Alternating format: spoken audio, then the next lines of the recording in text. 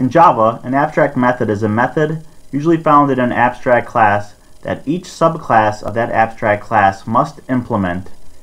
And an abstract method does not contain any method implementation. It's simply just the method header ending in a semicolon and it contains the keyword abstract before the method signature. And the method signature is actually the, the return type of the method, the name, and the parameters. So right before that, after the access specifier, you'll write the word abstract. Let's create some abstract methods and see how they work. So back to my abstract class called shape, let's create an abstract method.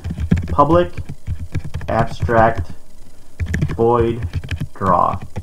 This is a method to draw a shape. And watch what happens as soon as I click save. I got an error on both square and circle because since both square and circle extend shape, I must also implement all the abstract methods found inside that class. So let's hover the mouse over the word square, or the class square, and click on add unimplemented methods. And it's going to add a method stub for you for the draw method. So let's draw a square.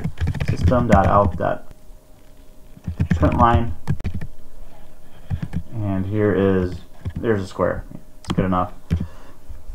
So now that error should go away because I overrode that method draw and I need to add another draw method for the circle class. And let's just do that manually at override, which will make sure that you're overriding the method correctly. Public void draw. And notice that when you're actually implementing the methods, it doesn't have the word abstract in the method header. System.out.println Let's draw a circle. Just make it capital O. That's there's a, good enough for me. There's a circle.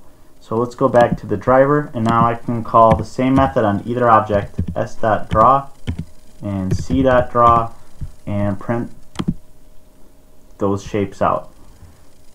So basically, if you have an abstract class called shape, and there's a set of abstract methods in there, all the subclasses of shape must implement all the abstract methods you have.